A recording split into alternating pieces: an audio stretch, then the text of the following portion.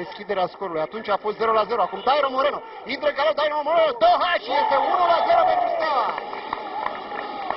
Este cel de-al doilea gol marcat de Toha pentru Steaua, ambele în acest retur. Din nou o fază frumoasă, aceste combinații în viteză, în fața unei apărări care stă foarte sus, uh, dau rezultat.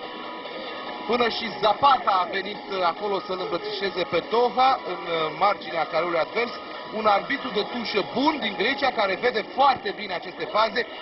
Dairo Moreno plecat din poziție regulamentară și procedează corect. Îndrăznesc să spun că dacă ar fi fost public în tribune, Dairo Moreno s-ar fi pierdut cu fire, ar fi tras din acea poziție, așa în această liniște care, culmea, îi favorizează pe jucătorii stelei în acest meci. Dairo Moreno și-a păstrat luciditatea și a găsit soluția optimă pentru Toha. Probabil că ar fi pe un loc uh, mult mai sus într-un campionat de șah.